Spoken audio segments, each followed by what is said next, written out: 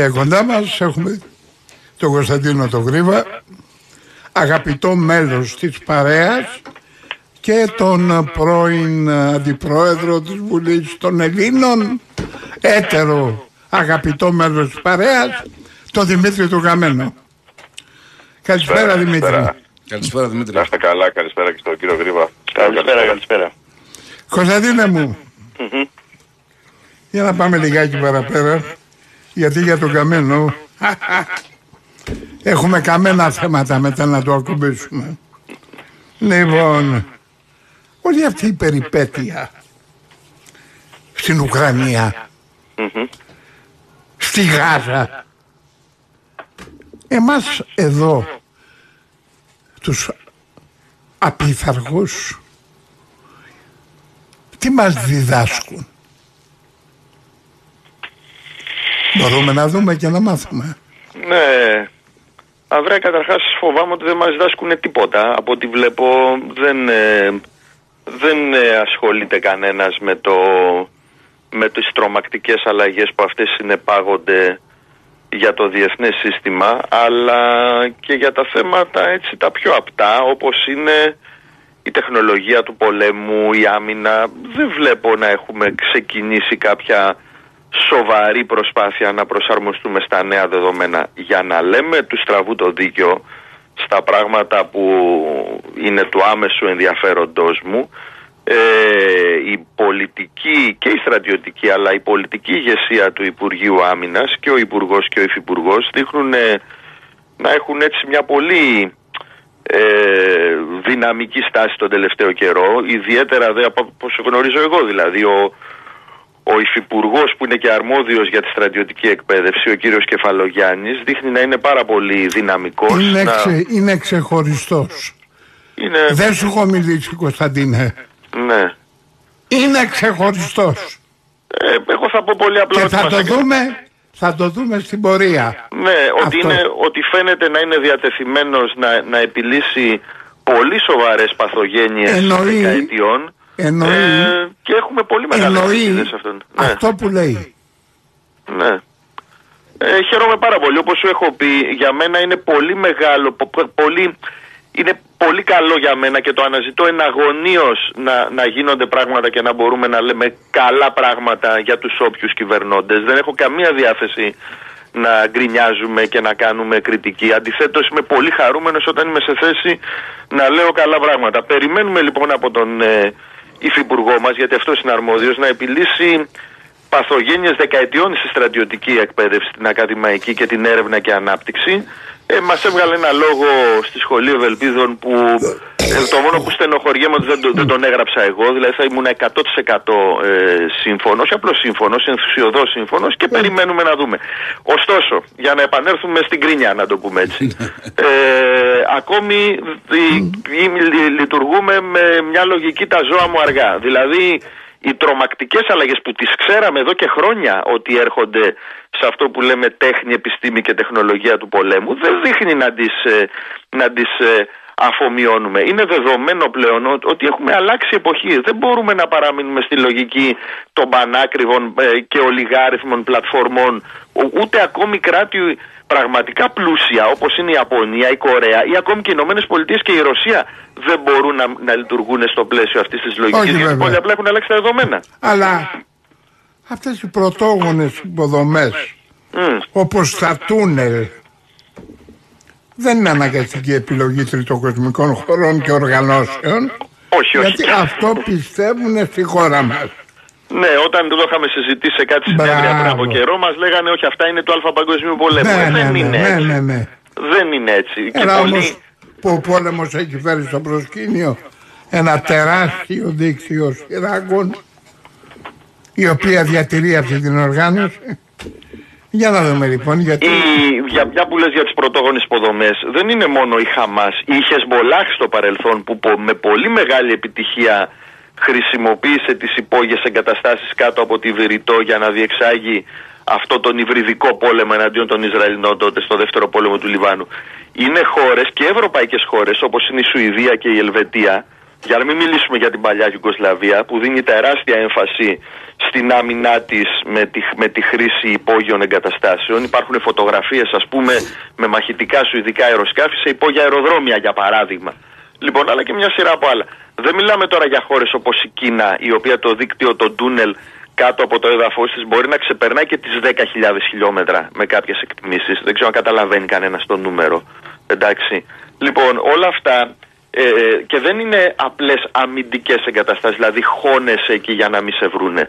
Χρησιμοποιούν και χρησιμοποιούνται και επιθετικά ως ορμητήρια δράσης ε, του πυροβολικού για παράδειγμα συστημάτων εκτόξευσης βαλιστικών πυράβλων. Οι Ιρανοί εκπαιδεύονται σε αυτό, έχουν τεράστιες υπόγειες υποδομές μέσα στα βουνά Υπάρχουν σχετικές φωτογραφίες και βίντεο έχουν δώσει στη δημοσιότητα που βλέπεις δεκάδες εκτοξευτές βαλιστικών πυράβλων είναι σε τεράστια τούνελ και να βλέπεις μετά πύραυλους να εκτοξεύονται κυριολεκτικά από το πουθενά, ανάμεσα από τα, από τα βουνά, μέσα από φαράγγια. Λοιπόν, και με τον, με τον τρόπο αυτό επιτυγχάνεις τη δυνατότητα άρνησης επαφής με την, με την αεροπορική ισχύ του αντιπάλου κυρίως και, να, και μπορείς να χτυπάς τον αντίπαλο ε, σχεδόν ατιμόρυτα. Δεν είναι βέβαια άτρωτες αυτές οι υποδομές, αλλά είναι πολύ δύσκολο να εντοπιστούν και πάρα πολύ πιο δύσκολο να χτυπηθούν. Η ανάπτυξη δε ρομποτικών συστημάτων διαφόρων τύπων πάει πακέτο μαζί με, με αυτές τις, ε, τις μεθόδους ε, προστασίας. Και εδώ λοιπόν είναι η, η, μεγάλη πρόκληση για, το, για την ελληνική άμυνα για το κοντινό μέλλον. Θα αξιοποιήσει το, το, το Υπουργείο Άμυνας, η πολιτική και στρατιωτική ηγεσία θα ξεκινήσει αυτή την, την προσπάθεια που πρέπει να είναι γρήγορη και αποφασιστική. Δεν αρκεί να γίνουν κάποια βήματα προς τη σωστή κατεύθυνση. Πρέπει να είναι πολύ γρήγορο. Θα αξιοποιήσει το τεράστιο δυναμικό το ελληνικό, το τεχνολογικό, το επιστημονικό, τις εταιρείες που υπάρχουν, που είναι πολλές μικρές, αλλά ακριβώς επειδή είναι πολλές και μικρές διαμορφώνουν ένα, ένα πολύ δυναμικό οικοσύστημα που μπορεί να συνεργαστεί με, τα, με μας, με, τις, ε, με τα ανώτατα στρατιωτικά εκπαιδευτικά ιδρύματα, με τα πανεπιστήμια, τις τα πολυτεχνία, τα ερευνητικά κέντρα και να ξεκινήσει μια στρατιωτική επανάσταση στην Ελλάδα που να, να δώσει λύσεις με πολύ λίγα χρήματα σε μικρό χρονικό διάστημα και κυρίως να λειτουργήσει και για πρώτη φορά στην ελληνική ιστορία υπέρ της εθνικής οικονομίας και όχι, και όχι να, να, να, φεύγουν, να φεύγει πολύτιμο κεφάλαιο και να πηγαίνει σε, σε βιομηχανίες του εξωτερικού. Όλα αυτά λοιπόν ε, είναι, είναι κρίσιμα ερωτήματα και περιμένουμε να τα δούμε. Υπάρχουν θετικές ενδείξεις επαναλαμβάνω, πολύ θετικές, αλλά μέλη να το δούμε. Στο ευρύτερο γεωπολιτικό πλαίσιο που είναι και το πιο σημαντικό νομίζω ότι το ελληνικό σύστημα εξουσίας εν συνόλο δεν έχει κατανοήσει την τρομακτική ευκαιρία η οποία προκύπτει από το γεγονός ότι η Τουρκία πλέον στο νέο γεωπολιτικό περιβάλλον φαίνεται ξεκάθαρα ότι δεν είναι πλέον ένα πολύτιμο κομμάτι για τη δυτική αρχιτεκτονική. Είναι φύρα. Όχι μόνο γιατί μετακινείται προς τις ευρασιατικές δυνάμεις Κίνα-Ρωσία και αυτό είναι ξεκάθαρο. Αυτό είναι το λιγότερο και θα μπορούσε ίσως να, να δικαιολογηθεί μια προσπάθεια να ρημουλκηθεί ξανά προς τη Δύση. Είναι πλέον ξεκάθαρο ότι η Τουρκία ακολουθεί μια νέο αυτοκρατορική πολιτική. Είναι αυτόνομος, 100% αυτόνομος παίκτης.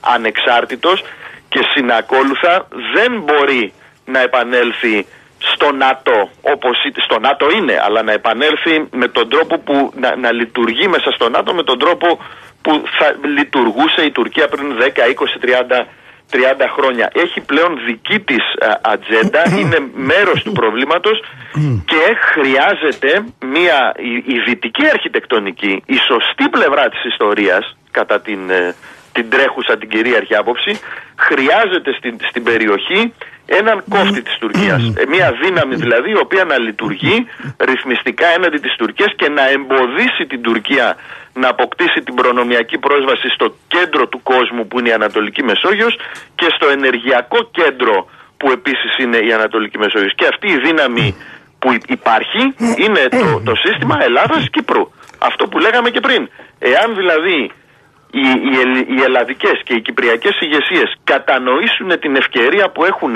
μέσα επαναλαμβάνω στο, στο, στη σωστή πλευρά της ιστορίας σε αυτό που θεωρείται το ιερό δισκοπότηρο δηλαδή την ευρωατλαντική ε, την ευρωατλαντική στρατηγική, τότε μπορεί τα πράγματα να αλλάξουν. Εδώ βέβαια υπάρχουν απόψεις του τύπου ναι, αυτά θα μας το πούνε οι Αμερικανοί όταν έρθει η ώρα. Και αν δεν μας το λένε, δεν ξέρουν οι Αμερικανοί και ξέρουμε εμείς. Ναι, αυτά δεν είναι τώρα σοβαρές κουβέντες. Ναι, αλλά αυτά σε- είναι σε αυτά για, που για λες. τον καφενέ. Σε αυτά που λες. Ναι. Εβραίικα think tank διαβάζοντας μπροστά τους την επόμενη δεκαετία, δεκαπενταετία θεωρούν την Τουρκία έναν α, πολύ μεγάλο κίνδυνο. Διαβάζουν δηλαδή τις κινήσεις της, τις προθέσεις της και μάλιστα το ένα από αυτά θεωρεί ότι τα πυρηνικά εργοστάσια τα οποία ετοιμάζονται στην Τουρκία της δίνουν τη δυνατότητα να μιλήσει με πυρηνικά όπλα. Αυτό δεν θα το ανεχθούμε λέει ναι. και είναι ξεκάθαρη. Αυτό είναι εάν προκύψει δηλαδή μια πυρηνικοποίηση του διεθνούς συστήματος, μπορεί να προκύψει ένα, δε- ένα τρίτο κύμα πυρηνικοποίησης, τότε η Τουρκία είναι μέσα σε αυτό. Να πω όμως και κάτι άλλο. Ότι πλέον δεν το κρύβουν οι άνθρωποι. Δηλαδή, οι δηλώσεις του, του ενενεργεία αρχηγού του τουρκικού ναυτικού πριν από μερικές ημέρες του Τατλιόγλου, του Ναβάρχου Τατλιόγλου, δεν ήταν μόνο ανθεληνικές και για μία ακόμη φορά είπε ε, αυτά που λένε, δηλαδή από στρατιωτικοποίηση των νησιών, ότι υπάρχουν γκρίζες ζώνες και, και, και. Λοιπόν, είπε ξεκάθαρα ο άνθρωπος ότι πρώτον ότι η Κύπρος είναι μια τρομακτικά σημαντική ε, στρατηγικά περιοχή, ένα από τρομακτικά στρατηγικό σ- σημείο στον πλανήτη και πρέπει να το, να το ελέγχουν. Και τι άλλο είπε, ότι αντιλαμβάνεται την Ελλάδα και την Κύπρο μαζί με την Αίγυπτο και το Ισραήλ, τι- τους αντιλαμβάνονται ως κομμάτι ε, μιας επιθετικής δυτικής αρχιτεκτονικής, περιλαμβάνει και τις Ηνωμένες Πολιτείες και τη Γαλλία και όλοι αυτοί είναι εχθροί της, ε, της Τουρκίας. Αντιλαμβάνεται δηλαδή αυτό που λέμε ότι η, η Ελλάδα ακριβώς επαναλαμβάνω σε αυτό το πλαίσιο, της, το κυρίαρχο πλαίσιο που έχει επιλέξει το ελληνικό σύστημα εξουσίας της απόλυτης ταύτισης με τον ευρωατλαντικό παράγοντα αντιλαμβάνονται τη- την Ελλάδα ως ε, δι- ε, δυνητική μεγάλη στρατηγική, ε, στρατηγική απειλή. Λοιπόν, και το λένε ξεκάθαρα ότι για μας οι Ηνωμένες Πολιτείες και η Δύση γενικότερα και η Γαλλία είναι εχθρός. Λοιπόν, γι' αυτό και εγώ δεν μπορώ να καταλάβω. Θεωρώ δηλαδή ότι η επερχόμενη επίσκεψη του, του Προέδρου Ερντογάν στην Ελλάδα, θα την, η, η ιστορική του μέλλοντος, δεν θα πω κάμια βαριά κουβέντα, θα την χαρακτηρίσουν ως η πιο ακατανόητη ενέργεια που έχει κάνει ποτέ η ελληνική εξωτερική πολιτική και πραγματικά είναι ακατανόητη. Δεδομένου ότι το ελληνικό σύστημα εξουσίας για μία ακόμη φορά θα το πω απόλυτα με φανατισμένο τρόπο εδώ και πολλά χρόνια έχει εγκλωβιστεί σε μια λογική όχι απλώς ανήκομενη στη Δύση, όχι απλώς έχουμε επιλέξει σωστή πλευρά της, υπο- της ιστορίας, δεν λέμε καλημέρα με κανέναν άλλον. Τέλος. Είμαστε απόλυτα ταυτισμένοι με τον ευρω- ευρωατλαντικό παράγοντα. Και αντί να αξιοποιήσεις αυτή την, την επιλογή σου, εν πάση περιπτώσει, την, την πολύ ακραία επιλογή, στο πλαίσιο του, του μιας στρατηγικής ότι ακριβώς γιατί έχω επιλέξει αυτό, είμαι το ακρότατο όριο της δυτικής αρχιτεκτονικής και συνακόλουθα η Τουρκία πρέπει να κρατηθεί απ' έξω, δεδομένου ότι η Τουρκία ξεκάθαρα πλέον λέει ότι θεωρεί τη Δύση ως εχθρό. Λοιπόν, το λένε οι άνθρωποι, επαναλαμβάνω, όχι μόνο την Ελλάδα, τη Δύση τη θεωρούν ως εχθρό. Εσύ επιμένεις να τους τραβήξεις εδώ πέρα και να ξεπλύνεις τον Ερντογάν και να ξεπλύνεις την Τουρκία. Αυτό για μένα ξεπερνάει τα όρια του ακατανόητου, θα ήταν κομικό αν δεν ήταν τραγικό και δεν μπορώ να καταλάβω τι σκέφτονται όλοι αυτοί οι εγκέφαλοι στο Υπουργείο Εξωτερικών που θέλουν σο- και γενικότερα που θέλουν σώνει και καλά να, να φέρουν εδώ τον, ε, τον, ε, τον Ερντογάν. Δεν, δεν μπορώ να το καταλάβω. Αυτό για μένα είναι, είναι παντελώς ακατανόητο. Οπότε ε, για, να, για να κλείσουμε και με αυτό, δεν βλέπω να έχουμε πάρει κάποιο, κάποιο δίδαγμα. Λοιπόν, και επαναλαμβάνω, στο Ναι. πλαίσιο αυτής της λογικής, της δικής τους λογικής, του της απόλυτης ταύτισης με το ευρωατλαντικό παράγοντα, δεν λέμε τη λογική ε, ψεκασμένων σαν και εμένα και τέλος πάντων και φανατισμένων και θεροβαμόνων που λέγαμε πολυπαραγωγική πολιτική και η Ελλάδα πρέπει να, είναι, ε, να μην είναι δεδομένη για κανέναν κλπ. Και, λοιπά και να μπορεί να λειτουργεί ως αυτόνομο γεωπολιτικό μέγεθος που θεωρούνται πλέον ότι όλα αυτά είναι εκτός πραγματικότητας. Λέμε σε αυτό το πλαίσιο. Τέλος πάντων, αυτά Ε, ε, πάντως ε, Κώστα σε συνέχεια αυτόν που είπε προλίγο ο Ανδρέας για τα think tank τα εβραϊκά που ανέφερε ε, υπάρχει και, και ένα άλλο ε, έγγραφο που έχει βγει από ένα τουρκικό think tank που θεωρείται ότι κατευθύνει γενικά την τουρκική πολιτική. Το πολιτικό έγγραφο εθνικής ασφαλείας όπως λέγεται. Ε, αυτό υποτίθεται ότι είναι το μυστικό σύνταγμα της Τουρκίας έτσι το λένε. Και α, σύμφωνα με τις αποκαλύψεις που, που κυκλοφόρησαν τελευταία ε, αυτή η στρατηγική της Τουρκίας αναθεωρείται και υπάρχει πλέον μεγάλη πιθανότητα να δούμε και κάπως έτσι αναφέρθηκε και ο Ερντογάν στο Ριάντ τώρα που είχε πάει στη σύνοδο αυτή την Ισλαμοαραβική.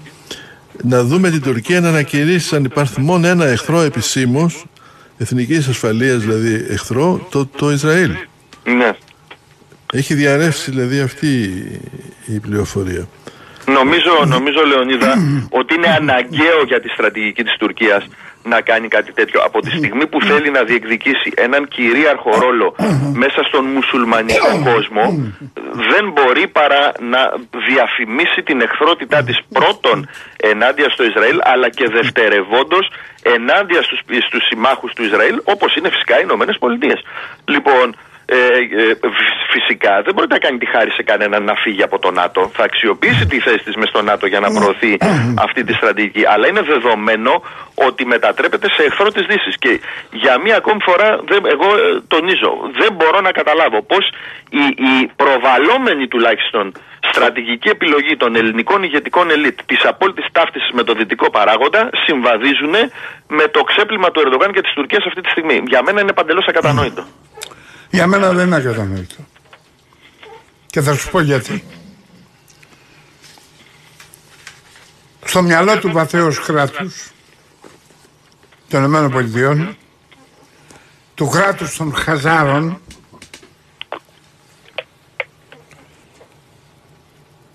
η Τουρκία παραμένει αυτό το οποίο είχαν σχεδιάσει από το 1920. Προτιμώ την Τουρκία να είναι ο χαλίφης των Ισλαμικών χωρών παρά το επικίνδυνο Ιράν. Εκεί είναι μια πολύ μεγάλη διαφορά. Όσο για μας είμαστε πάντοτε τα πιστά όργανα των επιθυμιών του βαθέως Αμερικανικού κράτους. Είναι εκείνο το οποίο στην ώρα μηδέν είπε στον Αραπάκη πάρ' τα πλοία σου πίσω. Στον Παπα-Νικολάου τα αεροπλάνα ακούνε μόνο δικές μας εντολές. Και ξεβρακωθήκαμε εν μια νυχτή και μονή. Τις σχέσεις βαθέως κράτους και Τουρκίας άσε με να τις κρατάω μέσα μου. Το τι παίζει αυτός απέναντι, τι παιχνίδι παίζει, το οικονομικό του παιχνίδι που κονομάει από τα πάντα, μπορώ να σου το πω. Το πολιτικό του παιχνίδι δεν το έχω ακόμα φωτογραφίσει. Για να βάζουμε τα πράγματα σε κάποια θέση. Όσο για μας τον καλούμε και τον υποδεχόμεθα γιατί αυτή είναι η μύχια επιθυμία του βαθέως Αμερικανικού κράτους. Ε, ε, Κάπου, εγώ- ναι. Κάποιος πρέπει να κάνει το σκουπιδοφάχο. Εγώ, Αντρέα, δεν θα διαφωνήσω με αυτά που λες. Απλά θα σου πω ότι πλέον και οι- οι Αμερικανοί πα- παρεμπιπτόντως δεν είχαν ποτέ ιδιαίτερα σοβαρή μακρόπνοη στρατηγική. Οι Άγγλοι, ας πούμε, διάβαζε εδώ το βιβλίο ο, ο ψυχρός πόλεμος του καθηγητή του Τζον Λάμπερτον ε, Χάρπερ που είναι από τις εκδόσεις Γκούτενμπεργκ και οι Βρετανοί ήδη από το 1944, πριν τελειώσει ο Β' Παγκόσμιος Πόλεμος δηλαδή, είχαν βγάλει φιρμάνια, εν πάση περιπτώσει, και λέγανε αυτούς τους χαζούς, το δυσκίνητο πλοίο που λέγεται Αμερικανική εξωτερική πολιτική, πώς θα καταφέρουν να το σπρώξουν προς τη σωστή κατεύθυνση, γιατί δεν τους είχαν καμία εμπιστοσύνη για τον τρόπο που σκέφτονται. Λοιπόν, το ότι και αυτό το βαθύ αμερικανικό κράτος όντως υπάρχει και όντως είναι ακριβώς έτσι όπως το είπες, συνεχίζουν να έχουν μια αιμονή για το ρόλο της Τουρκίας. Αλλά γίνεται πλέον κατανοητό ότι αυτό το πράγμα δεν στέκει. Έχει αλλάξει ο κόσμος. Αυτό είχε κάποια λογική ίσως στο παρελθόν ήταν ας πούμε και το, το λεγόμενο δόγμα ε, Νίξον είχε μια τέτοια λογική δηλαδή να δημιουργηθούν περιφερειακές δυνάμεις που να είναι ημιανεξάρτητες αλλά να προωθούν τα σφαίρα των ΗΠΑ αλλά στη σημερινή γεωστρατηγική πραγματικότητα φαίνεται, φαίνεται ξεκάθαρα ότι η Τουρκία δεν μπορεί να παίξει αυτό το ρόλο. Έχει τη δική της ε, ατζέντα και θα τους ξεφύγει πάλι των Αμερικανών. Κωνσταντίνε. Κωνσταντίνε. Ε, να, κάνω μια ερώτηση. Τελικά οι Άγγλοι μπήκαν στη συζήτηση να δώσουν Eurofighter. Θα πάμε, θα πάμε εκεί πέρα. Είναι η επόμενη ερώτηση. Δημήτρη, είναι η επόμενη ερώτηση. Σε αυτό λοιπόν που είπες, ε, Κωνσταντίνα μου, θέλω δύο βράδια ολόκληρα για να συζητήσω το τι σημαίνει η Τουρκία για αυτούς. Για αυτούς δηλαδή που κυβερνούν τον κόσμο οικονομικά, και πολιτικά. Εγώ, λοιπόν. εγώ μπορώ να πω μια δικιά μου θέση ε, τώρα με δύο λόγια βέβαια γιατί είναι ολόκληρη ιστορική συζήτηση. Ε, δεν έχουν καμιά αιμονή με την Τουρκία, ούτε την αγάπησαν ποτέ. Εντάξει. Έχουν μια αιμονή με την Ελλάδα. Να μην ξαναδούν μπροστά τους να, να γεννιέται μια μεγάλη Ελλάδα που να είναι και στις δύο πλευρές του Αιγαίου. Η Τουρκία είναι το ανάχωμα για την Ελλάδα και για τον Βυζαντινό κόσμο γενικά. Και, το, και τα παιδιά του Βυζαντίου που αυτή τη στιγμή είναι η Ρωσία. Έχουν αυτό το, ε, το ρόλο. Οι, Τούρκοι, οι Τούρκοι από το, την εποχή που εμφανίστηκαν, από, από, από, τότε που εμφανίστηκαν στην περιοχή, είναι ουσιαστικά η πέμπτη σταυροφορία. Λοιπόν, να, κάτσουμε να, να παραδώσουμε την Κωνσταντινούπολη στους Ρώσους να Να, να κάτσουμε, άλλο λέω τώρα, τι λες η, η, η Τουρκία παίζει το ρόλο του αναχώματος για τη Ρωσία, το είπε και ο Κώστας Προλίγου, και πάντα το ΝΑΤΟ θα την θέλει στους κόλπους της γιατί αποβλέπει σε μια τέτοια ε, κάποια στιγμή φάση να χρησιμοποιήσει την Τουρκία θα έρθει η ώρα που αυτή η λικοφιλία θα τελειώσει με τη Ρωσία. Λεωνίδα, είπες μια τεράστια κουβέντα και αξίζει τον κόπο απλό να την επαναλάβουμε και ας πέσει κάτω. Ότι η Τουρκία στην πραγματικότητα πιθανώς δεν είναι το ανάχωμα ενάντια στη Ρωσία, είναι το ανάχωμα ενάντια στην Ελλάδα. Ε, Γιατί η Ελλάδα είναι η πραγματική δυνάμει υπερδύναμη στην περιοχή και δεν πρέπει να επαναδημιουργηθεί. Αυτό είναι τεράστια κουβέντα, αλλά ας το αφήσουμε γιατί είναι πολύ δύσκολη έτσι η συζήτηση πάνω σε αυτό το είναι θέμα. Είναι τεράστια συζήτηση. Είναι, για μένα οι Τούρκοι από την ώρα που εμφανίστηκαν μέχρι σήμερα είναι η πέμπτη σταυροφορία. Και αξίζει να ψάξουμε κάποτε τα παρασκήνια. Υπάρχουν ιστορικοί δυτικοί που τα ψάχνουν γιατί είναι πολύ ε, κρυμμένα αυτά τα μυστικά στο Βατικανό. Των μυστικών ε, επαφών των Καθολικών με τους Μογγόλους όταν πλέον το Βατικανό δεν ήταν σε θέση να πραγματοποιήσει νέα σταυροφορία μετά την Τέταρτη και ενώ με την Τέταρτη ήλπιζε ότι θα έχει τελειώσει το Βυζάντιο, δεν, δεν τον μπόρεσε γιατί ανασυστήθηκε κάπως το Βυζάντιο, έστω και σακατεμένο. Ε, ε, υπήρξαν μυστικές επαφές πλέον με τους Μογγόλους να, να έρθουν αυτοί να κάνουν ουσιαστικά την πέμπτη σταυροφορία. Και αυτό είναι μέχρι σήμερα. Να σας πω τώρα για ένα καλό για να συνέλθετε. ναι, ναι. Πέρασε σήμερα στο Ευρωπαϊκό Κοινοβούλιο η ψηφοφορία για την κατάργηση του ΒΕΤΟ. Τέλος. Τελείωσε δηλαδή; Δεν έχουμε κανένα λόγο να είμαστε. Οι μικρές χώρες διαλύονται χωρίς το βέτο. Εμείς που έχουμε ανοιχτά εθνικά θέματα Ελλάδα και Κύπρος, τέλος. Τέλος. Οι μικρές χώρες δεν θα έχουν φωνή με. Τέλος. Όπως τα ακούτε. Σας ακούω το Αυτό βέβαια εγκρίθηκε, εγκρίθηκε και θα πάει τώρα για, για τα παρακάτω. Πέρασε κάτω από την καθοδήγηση του Γαλλία και Γερμανίας. Ναι. Όλη της ομάδας του με συντριπτική πλειοψηφία ψηφίστηκε από πάρα πάρα πολλούς ε, ευρωβουλευτές. 291. 291 υπέρ, 274 κατά και 44 αποχές. Αυτό. Θα, τώρα ερευνώ να δω και αν υπάρχει κανένας λεβέντης δικός μας, προοδευτικός. Εγώ δεν το έψαξα για να μην εκνευριστώ. Ναι, αλλά πρέπει να το δούμε για να ξέρουμε γιατί δεν έχουμε λόγο πλέον να είμαστε στην Ευρωπαϊκή Ένωση. Τέλος. Αυτό το ρημάρι το βέτο μας κρατούσε σε όλα. Κατήργησαν ε, τις συνθήκες και κατήργησαν... Δηλαδή ο ολοκληρωτισμός ελέγχεται η Ευρωπαϊκή Ένωση. Αυτό το πράγμα που λέγαμε ότι είμαστε ένα εργαστήρι πειραματικό για την παγκοσμιοποίηση. Να το, τάκ, όλα αυτά καταργούνται. Τι- Για ποιο λόγο να είσαι; Γιατί να είσαι συνέτερος με τον άλλον, μπορεί να μου πεις; Όταν δεν έχεις ούτε αυτό. Ε, τώρα που ανεβαίνουν πλέον όλα τα εθνικιστικά κόμματα θα διαλυθείς στο τέλος. Ήδη ο Ολλανδός είπε, εμείς φεύγουμε. Να πούμε και στο Δουβλίνο τι γίνεται. Στο Δουβλίνο δεν ξέρω αν έχετε Γίνεται δει. χαμός, ναι, Γίνεται ναι, της ναι. κακομοίρας στο, στο Δουβλίνο. Πρωτοφανές, πρωτοφανή Ε, ε, φαινόμενο. ε, ε, επεισόδια πάρα πολύ σοβαρά με σημαίες που να φωνάζουν ε, οι ζωές των Ιρλανδών μετράνε πετάξτε τους έξω τραυμάτισε ένας Αλγερινός τρία παιδιά και μια γυναίκα το ένα το κοριτσάκι είναι πάρα πολύ σοβαρά έξω από ένα δημοτικό σχολείο και έχουν ξεσηκωθεί οι Ιρλανδοί και είναι στα βόρεια της, του Δουβλίνου δηλαδή γίνονται σοβαρές φασαρίες λοιπόν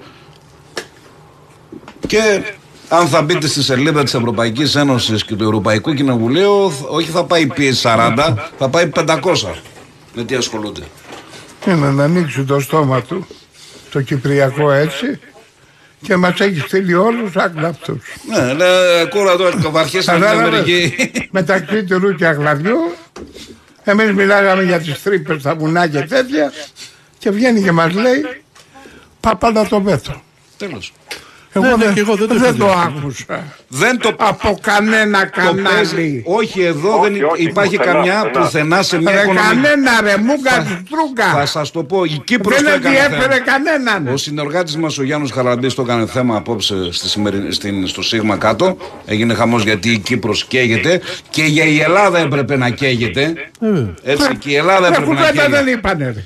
Και εδώ Ρε όλοι οι πρωτοκλασσάτοι σε δεν ένα- είπε σε μια- μια κουβέντα. σε μια οικονομική Αρσενική εφημερίδα. και θηλυκή. Τίποτα.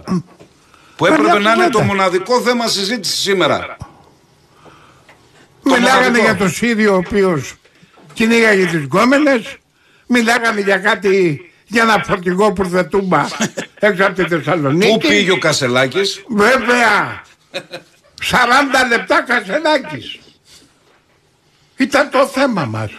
Και το θέμα ότι ένα όπλο είχε η Ελλάδα. Ένα αυτό. Αυτό που λεγόταν βέτο. Άντε λοιπόν τώρα να βγάλεις τον Μπελέρη από τη φυλακή. Ε, Πάμε να κάνουμε το μικρό μας διάλειμμα. Αγαπημένη επιστροφή και πάλι στην εκπομπή μας. Στις γραμμές μας είναι ο Κωνσταντίνος ο Γρήβας, ο Δημήτρης ο Καμένος, κοντά μου είναι ο Σπύρος και ο Λεωνίδας. Και μια και έχουμε τον Κώστα να κάνει ένα πρώτο σχόλιο τι σημαίνει αυτό; Η έλλειψη του βέτου. Έχουμε και τον Δημήτρη. Ναι. Ας ξεκινήσουμε με τον Δημήτρη. Καταρχάς ήταν πάγια απέτηση της Γερμανίας αυτό. Για, Δημήτρη- για, για, μα- για μας τι σημαίνει τώρα. Για να μάθουμε τι σημαίνει αυτό το βέτο. Εντάξει, τώρα μπο- μπορούμε να φανταστούμε τι σημαίνει. Οι, οι, οι μικρές χώρες οι οποίες εξαρτώνται οικονομικά και πολιτικά και δεν έχουν ηγέτες οι οποίοι μπορούν να πατήσουν πόδι, όπως λέγαμε χθες, για να βάλουν τη χώρα τους εκεί που πρέπει και εκεί που οφείλουν, μέσα στο γεωπολιτικό σκηνικό και το χρηματοοικονομικό, όπως αυτό το βλέπουμε και ένα τέλει το 2024 με τους πολέμους και τις κρίσεις και την ενέργεια και την Ουκρανία που δεν συζητάει κανένας και έχουμε δώσει 100 δισεκατομμύρια και πάμε να δώσουμε κι άλλα και η Ευρώπη δίνει μέχρι και δάνεια τώρα στην, ε, στην Ουκρανία. Ε, η Γερμανία χάνει την μπάλα στα οικονομικά, η Ιταλία θα χάσει την μπάλα στα οικονομικά. Οι μελέτες στην, Αμερι... στην Αμερική, στην Αμε... τις Αμερικάνικες δείχνουν ότι οι οικονομικές μελέτες ότι τα... η γερμανική και η ιταλική οικονομία θα πάνε χάλια του χρόνου και τα χρηματιστήρια. Οπότε το να αφαιρεθεί το βέτο και να δοθεί εντολή ε, στο Ευρωπαϊκό Συμβούλιο να προχωρήσει την αλλαγή των συνθήκων και να περάσει την νομοθεσία για την αλλαγή του βέτο είναι ένα φεντα- φεντεραλιστικό σύνθημα το οποίο πάει να καπελώσει όλη την Ευρώπη. Θα Να λειτουργούν το, αυτοί για το να καλό. το κάνουμε Δημήτρη πιο απλά. Για να καταλάβει ο κόσμος. Αυτή τη στιγμή εμείς χρωστάμε 400 δισεκατομμύρια. Ο μόνος τρόπος για να πιέσουμε τους Ευρωπαίους είναι σε κάποιες μεγάλες αποφάσεις τους να ακουμπήσουμε ένα βέτο. Τώρα που το βέτο πήγε περίπατο, το χρέος θα το ξεράσουμε. Δεν έχουμε στα χέρια μας καμία ασπίδα, κανένα αμυντικό όπλο. Και αυτό δεν θα στο πει κανένα. Τώρα ο Ένα, κομμάτι, Κοσμάκης. ένα, ένα θέμα είναι το Τώρα, χρέο. σε Ένα παρακαλώ. άλλο θέμα είναι τα Μην με- εθνικά, μην τα με- εθνικά μην- και το μετα- μεταναστευτικό, Αντρέα. Περίμενε. Αυτά επηρεάζουν πολύ τις οικονομίες. Θα πάμε και στο επόμενο. Όλα αυτά τα θέματα που έχουμε ανοιχτά. Εθνικά μας θέματα. Μεταναστευτικά θέματα. Όλα αυτά. Τα παίζαμε με ένα βέτο. Την Αλβανία. Την Αλβανία. Τα Σκόπια. Όλους τους. Αυτό δεν Την Κύπρο. υπάρχει. Την Κύπρο. Την Κύπρο Κύπρο, έχουμε λόγους Την εμείς. κατεχόμενη. Την κατεχόμενα κατεχόμενη. Κύπρος. Η Κύπρος χάνει το βέτο. Κατεχόμενη χώρα. Στην Κύπρο έχει γίνει χαμός. Εκεί πε- παίχτηκε από εκεί. Κατεβάσαμε ασπίδες. Ανοίξαμε και το δώρακα. Έχει ανοίξει ο δρόμος, αλλά δεν έχει τε- τελειώσει έτσι, για να οριστικοποιηθεί. Ναι, ναι, ναι, δεν έχει γίνει νόμος, αλλά πέρασε το ψήφισμα. Για Αλλά να οριστικοποιηθεί πρέπει να υπάρξει ομόφωνη απόφαση του Συμβουλίου Υπουργών της Ευρωπαϊκής Ναι, αλλά έγινε πρόταση να επισπεύσουν τις διαδικασίες. θα επισπεύσει η διαδικασία, θα κινηθούν. Θα κινηθεί γρήγορα αυτό. Και να περάσει και από τα κοινοβούλια. Ναι. Εδώ εμείς ποιος θα φέραμε γυρίσει τίποτα να πει από την όχι. Ευρώπη. Θα πει εδώ. όχι ο Ορμπάν. Ποιος; Θα πει όχι ο Ορμπάν. Ένας Ο θα πει Ορμπάν, όχι. ο Ορμπάν γιατί οι Πολωνοί, οι Απε- Πολωνοί α, πάνω. Πολωνία. απε- Απειλεί το Ορμπάν από τίποτα. Όχι, δεν θα το δεχθεί. Όλοι οι Πολωνοί που λέει. Κάποιος να πει θα. Μα θα- περιμένουμε πάντα τους τρίτους τι θα κάνουν. Εμείς τι δεν πρέπει να κάνουμε. Εμείς θα στυλώσουμε τα Εμάς πόδια. ξέχασε εμάς. Εμείς άμα πάρουμε ένα Δηλαδή, εμείς χαρτιλίκι Θα, θα το φέρουμε στην Βουλή και θα πούμε ναι. με δύο χαρτιλίκια θα πούμε μάλιστα. Με ένα θα πούμε ναι. Με δουλεύεις τώρα. Εμείς τι θα Οι Κύπροι κάτι μπορούν να νιάουν. Φωνάξανε. Ναι, ε, Και ε. να φωνάζουν. Εδώ δεν υπάρχει τέτοιο πράγμα. Προς το παρόν έχουν φωνάξει οι Κύπροι, οι Πολωνοί και οι Ούγγροι. Κανένας άλλος. Εμείς εδώ τα μέσα μαζικής ενημέρωσης. Δεν υπάρχει- Συγγύν ηχθείως. Δεν υπάρχει σε φωνή κανε- πουθενά. σε κανένα. Εγώ το Ένα έχω βάλει site και στο ένα Facebook. οικονομικό. Εγώ στο, από το πρωί το έβαλα στο Facebook για τη νίκη του Βίλντερ, τι σημαίνει αυτό για την Ευρώπη και τι σημαίνει παράλληλα και η άρση του βέτο. Ελάχιστα σχόλια, ο κόσμος δεν, δίνει, δεν δείχνει ενδιαφέρον, δεν κατάλαβαν. Διότι ενημερώνονται, όπως είπαμε, η, τα- η σκαλέτα είναι κάτι άλλο. Πλάκα μου Ε, κάνει. η σκαλέτα είναι κάτι άλλο. Πλάκα μου Το κάνει. σούπερ μάρκετ είναι κρύβα, είναι χίλια πράγματα. Χαϊβανίτιδα. από 250 ραδιόφωνα, από 30 κανάλια, από 150 site. Κανείς να μιλάει το παραμικρό ρε. Και να ακούγονται αυτά το βραδάκι 10-12. Από την λεωφόρο Συγκρού. Άσε με τώρα. Πάντως ο ευρωφεντεραλισμός είναι ε, το νέο καθεστώς. Δεν θα σηκώνει κεφάλι κανένας και θα λειτουργούν οι χαρτογιακάδες των Βρυξελών για το Βέβαια. συμφέρον σε εισαγωγικά όλων, θα αποφασίζουν για όλους και χάνεται η εθνική κυριαρχία των κρατών. Τελείως και de facto χωρίς το βέτο. Διότι πλέον μπορεί να είχες το βέτο και να κρατούσες μία πισινή σε 10 θέματα, σε ένα, σε δύο, σε πέντε η κάθε χώρα. είτε οι Γάλλοι για την ενέργεια, για το μεταναστευτικό, οι Έλληνες, οι Ιταλοί, είτε για τα οικονομικά, είτε για το ΦΠΑ, είτε δεν ξέρω εγώ γιατί, για τα ενεργειακά κομμάτια ή τα εργασιακά, ή τα, δεν ξέρω, τα προϊόντα, τις εξαγωγές, τα προστασία των εξαγωγών ή οτιδήποτε άλλο στο, στο- στο ισοζύγιο εξαγωγών το εμπορικό. Αλλά αυτό δείχνει ότι πλέον πάμε σε πλήρη ένωση της Ευρώπης και ένα διοικητήριο. Μιλάμε για δυστοπικές καταστάσεις. Ο Έλληνας δεν έχει καταλάβει ούτε ο Ιταλός ακόμα ούτε ο Γάλλος τι συμβαίνει. Δεν θα αποφασίσει κανένα κοινοβούλιο. Πρέπει να το καταλάβουμε αυτό. Οι πρωθυπουργοί θα είναι διαχειριστές. Θα έρχονται πλέον, όπως ερχόταν τα μνημόνια, με φαξ στη Βουλή και τα υπογράφαν έτοιμα ε, 200 και 300 σελίδες που τα βρήκα εγώ όταν μπήκα, με φαξ ερχόντουσαν οι νόμοι. Και περνάγανε νύχτα και δεν συζητήθηκε τίποτα στη Βουλή, όπως δεν συζητήθηκε και το Σκοπιανό στη Βουλή. Χάσαμε τη Μακεδονία. Ε, αποφασίστηκε νύχτα, έτσι θα αποφασίζονται όλα και εδώ απλά θα διαχειριζόμαστε τις αποφάσεις της Ευρώπης. Από ανθρώπους οι οποίοι είναι μη εκλεγμένοι, με μη δημοκρατικές διαδικασίες, με διαφορετικές ατζέντες από τις εθνικές. Διότι η Ευρώπη δεν είναι οι Ηνωμένες Πολιτείες Αμερικής. Έχουμε 27, 28, 29, 30 χώρες, έχουμε γειτόνους εύκολους και δύσκολους, έχουμε θάλασσες, έχουμε άλλες κουλτούρες, έχουμε άλλες θρησκείες, έχουμε άλλες γλώσσες, έχουμε άλλα οικονομικά συστήματα, άλλα εργασιακά συστήματα, άλλα, άλλα συστήματα συνταξιοδότησης. Είμαστε άλλος κόσμος. Λοιπόν, με τη βία, με τη βία πλέον και με την απειλή των πολέμων, επειδή αυτό που λέει, δείχνουν τώρα στην Αμερική μελέτες τι είναι, ότι χρησιμοποιούν όλοι στα νέα αφηγήματα τη λέξη war, την λέξη πόλεμος. Ο πόλεμος φέρνει την ακρίβεια, ο πόλεμος στην Ουκρανία αυξάνει τον πληθωρισμό και τις τιμές, ο πόλεμος για την κλιματική αλλαγή, ο πόλεμος κατά των εθνικιστών, ο πόλεμος κατά ε, των ε, φασιστών. Ο πόλεμος κατά, ο πόλεμος, η λέξη πόλεμος αυτή τη στιγμή αναλύεται από τα μεγάλα κεφάλια και τα πανεπιστήμια στην Αμερική κατά πόσο μπορεί και πώς πηγαίνει στο υποσυνείδητο του ανθρώπου δίπλα σε κάθε πρόταση για το καλό της κοινωνίας να φοβήσει και να μπει στο υποσυνείδητο η εικόνα του πολέμου και να πειθαρχήσεις. Διότι στον πόλεμο πειθαρχείς. Αυτές τις αναλύσεις διαβάζω σήμερα και μου έχει σηκωθεί τρίχα μετά από αυτό που έγινε με το βέτο.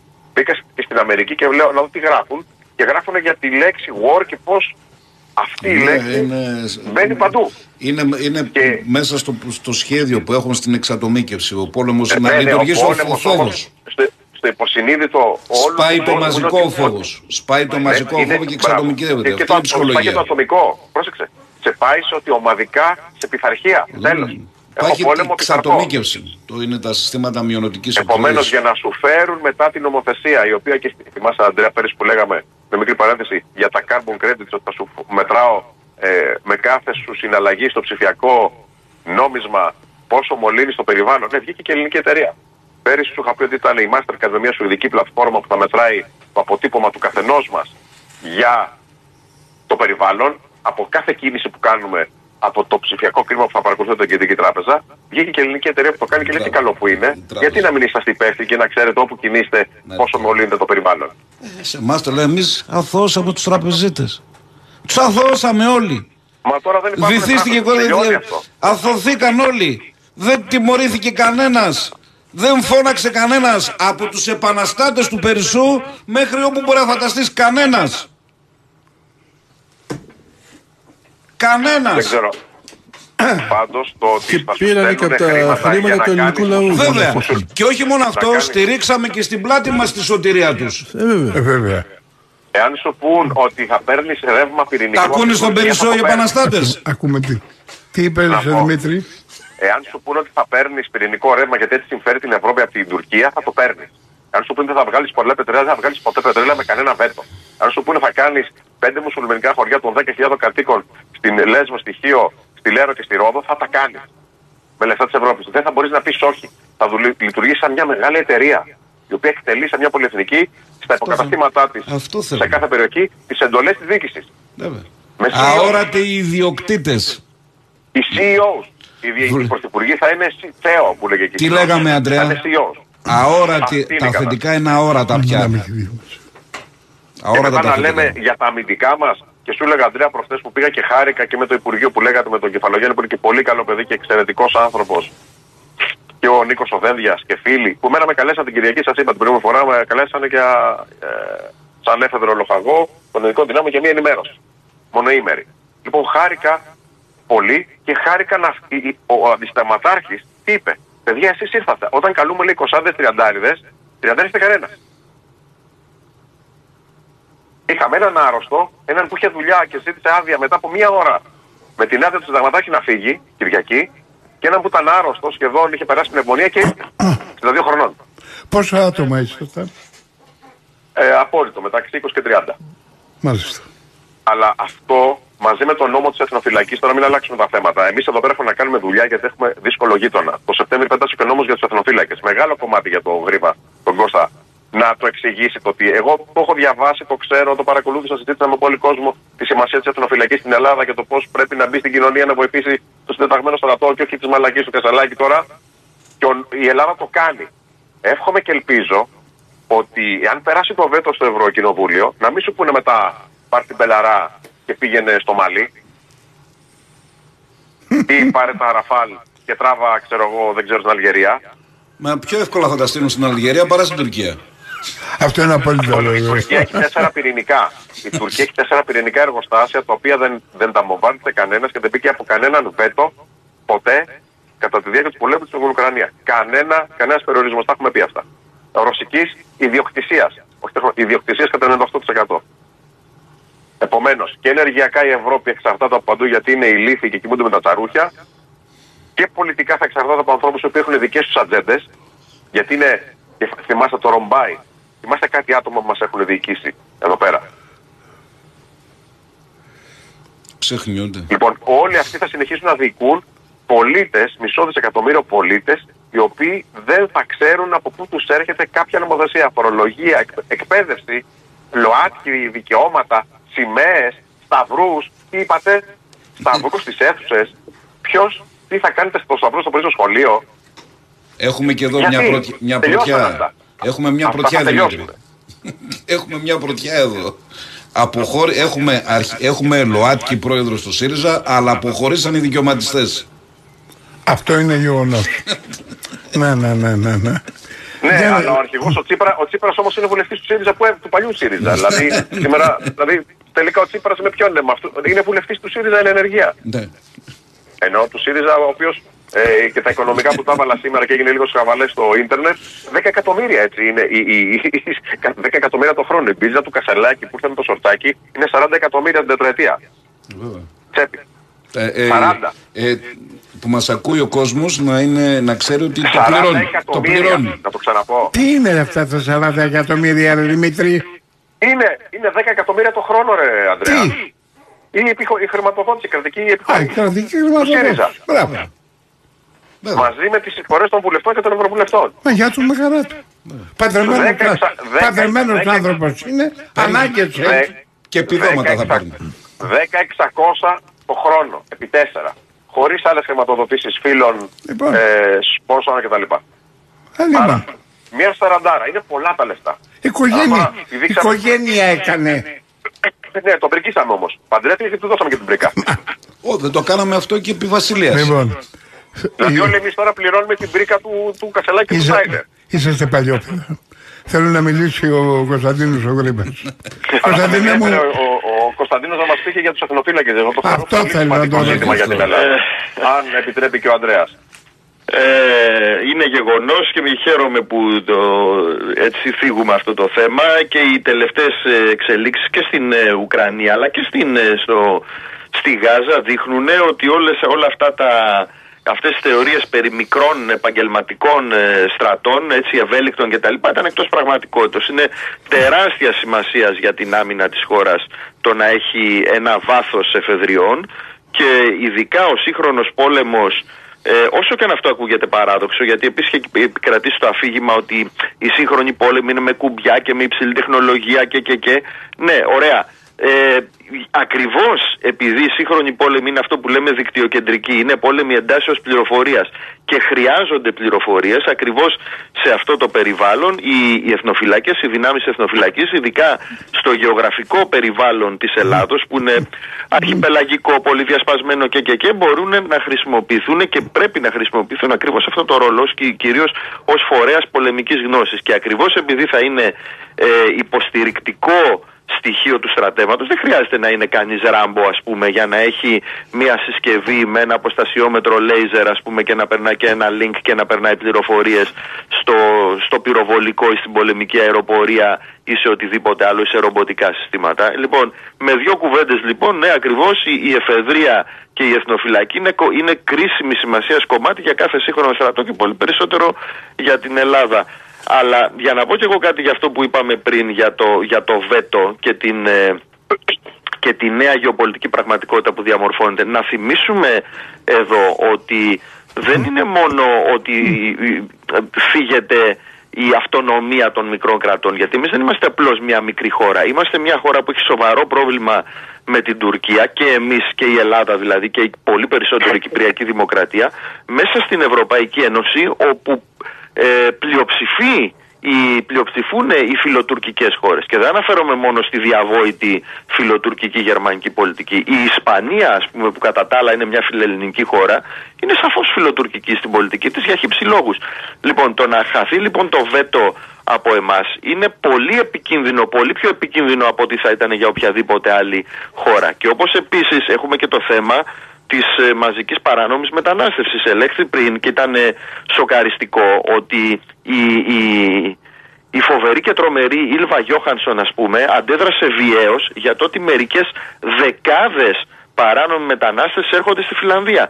Και αντιθέτως στην περίπτωση της Ελλάδος όχι μόνο δεν αντιδρά για το ότι εκατοντάδες χιλιάδες ακόμη και εκατομμύρια για να πούμε τα πράγματα με το όνομά τους εισέρχονται ή απειλούν να εισέρθουν στην Ελλάδα αλλά αντιθέτως απειλεί την ελληνική, τις, τις εκάστοτε ελληνικές κυβερνήσεις και ο, οποιοδήποτε έστω και ανεμικό μέτρο άμυνας παίρνεται ενάντια σε αυτή την τρομακτική απειλή που είναι η μαζική είσοδος πληθυσμών, προσπαθεί να το καταστρέψει. Λοιπόν, εδώ φαίνεται λοιπόν ότι όχι μόνο έχουμε δύο μέτρα και δύο σταθμά. Φαίνεται λοιπόν ότι ένα κομμάτι του ευρωπαϊκού κατεστημένου επιφυλάσσει για την Ελλάδα μια πολύ σοφερή μοίρα. Στην καλύτερη των περιπτώσεων θέλει να χρησιμοποιηθεί ως το αναλώσιμο κομμάτι της δυτικής, της ευρωπαϊκής αρχιτεκτονικής και να είναι αυτό που θα, θα καταστραφεί για να, από τη μαζική είσοδο πληθυσμών για να μπορέσουν τα άλλα κομμάτια να επιβιώσουν.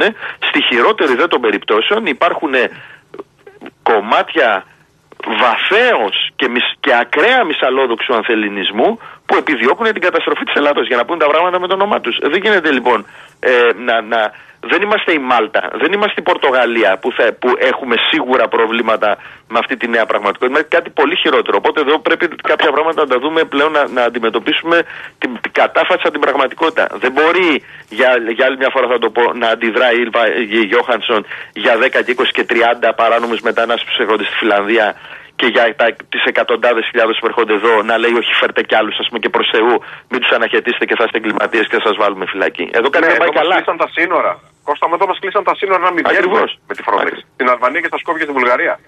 Ακριβώς, δηλαδή είναι ανοιχτά δηλαδή, τα σύνορα προς Ανατολάς, κλειστά τα σύνορα προς Δεσμάς και προσφορά. Εδώ κάτι δεν πάει καλά. Να φορτώσουν όλους τους όλους τους πρόσφυγες και αυτούς πάνε στη Λαμπεντούσα στην Ελλάδα μια μέρα. Ναι. Ποιος θα τους πει όχι; Πείτε μου χωρίς βέτο. Ποιος; Δηλαδή, στο πλαίσιο αυτής της λογικής, η Ελλάδα έχει ημερομηνία λήξεως. Πρέπει να το καταλάβουμε αυτό το πράγμα ότι αντιμετωπίζουμε τρομακτικό κίνδυνο, υπαρξιακό κίνδυνο. Έχουμε ήδη κόστα πρόβλημα στην Κύπρο.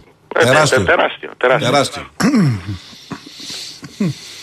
Μου έλεγε ένας φίλος για τον Εύρο ότι χωριά του Εύρω έχουν ερημώσει. Που υποτίθεται ότι ο Εύρος είναι ο προμαχώνας για τη Θράκη. Γιατί από πίσω είναι δύο νομοί που ξέρουν τα προβλήματα. και αντί να προστατέψει τον Εύρο, τον έχουν αφήσει και καλά τώρα έγινε και φωτιές, άλλη καταστροφή.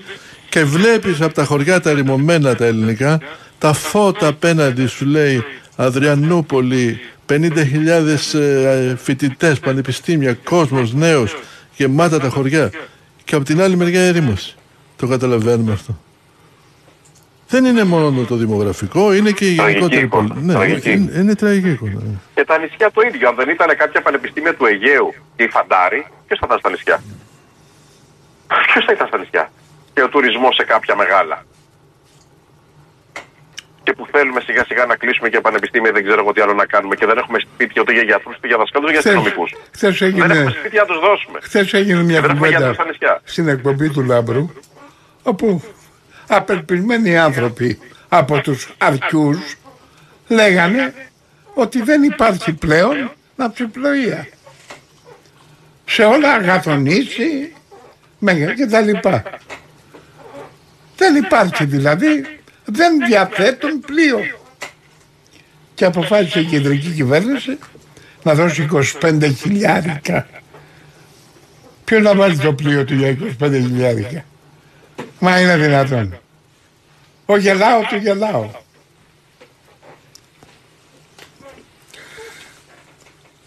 Μπας περιπτώσει, Δημήτρη μου, συγγνώμη έκανα, έκανα μια παρέμβαση. Ολοκλήρωσε.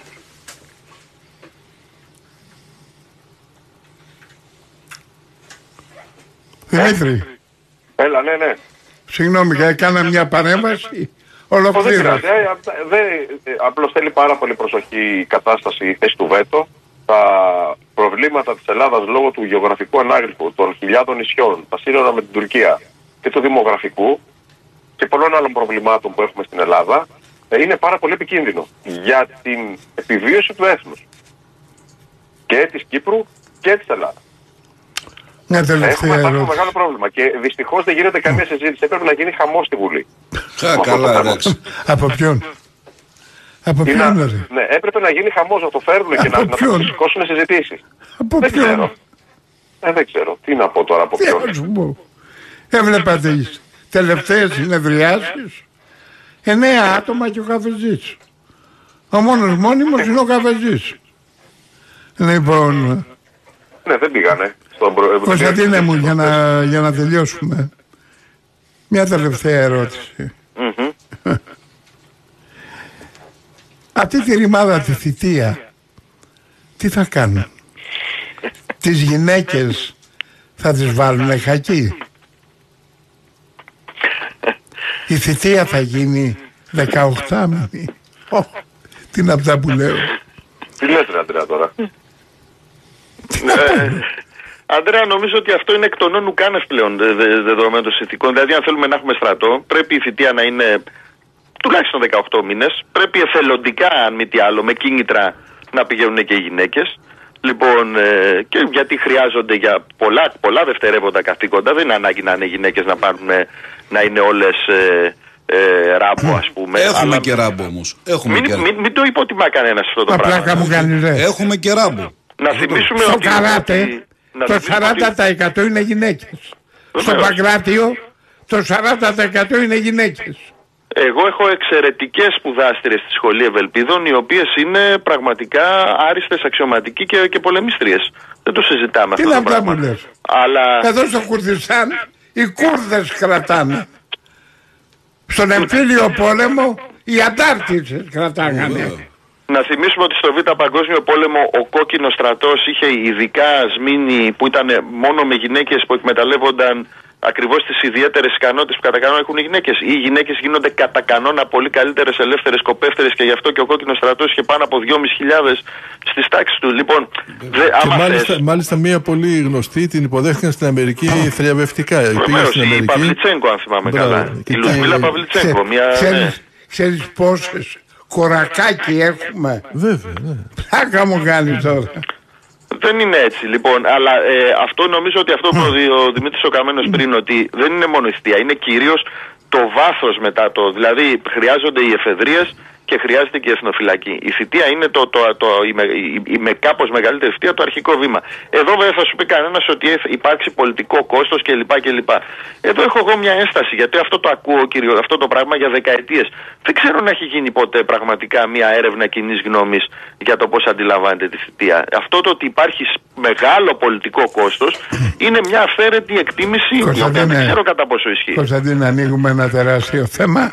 Έχουμε 8 δευτερόλεπτα να πούμε την καληνύχτα μας στον Κωνσταντίνο τον Γρήβα, στον Δημήτρη τον Καμένο, Ανοίχτα, καλό ξημέρωμα. στον Καλό Λεωνίδα βράδυ και τον σε όλους. Κασίτη. Νύχτα, Καλό βράδυ. Αν σας άρεσε το βίντεο, πατήστε like και εγγραφή στο κανάλι. Για να λαμβάνετε πρώτοι τις ειδοποιήσεις για νέα βίντεο, πατήστε και το καμπανάκι. Σας ευχαριστούμε θερμός για την υποστήριξη.